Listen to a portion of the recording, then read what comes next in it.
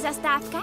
Velká Merlinova věž. Jú, prima, prima, prima, moc prima. Hele, hele, už víme, jak si ráda.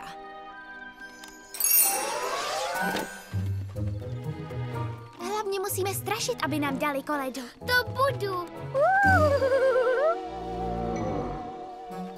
Sofie, neřekneme Kalistě, že její hyhňání je spíš milé než děsivé? To by jí znervóznilo.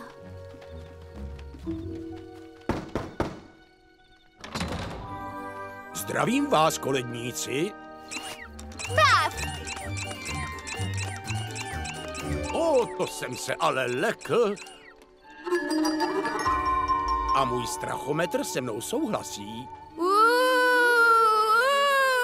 já jsem duch Halloweenské noci. O, jejda. Báječně se bojím. Třesu se jako čarodějná osika.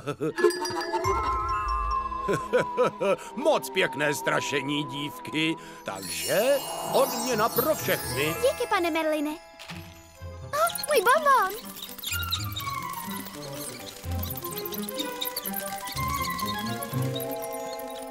Teď jsem na řadě já a chci taky bonbon.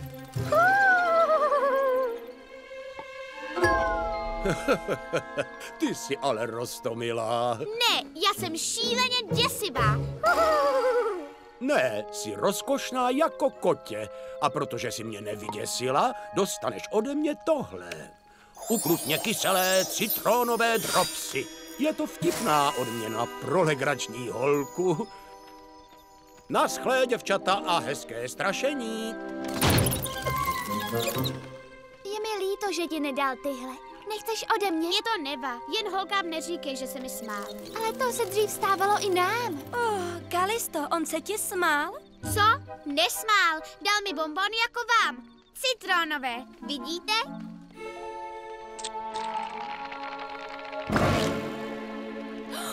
Nemůže mluvit. A je celá žlutá. Kalisto, vyplivni to. Fujky.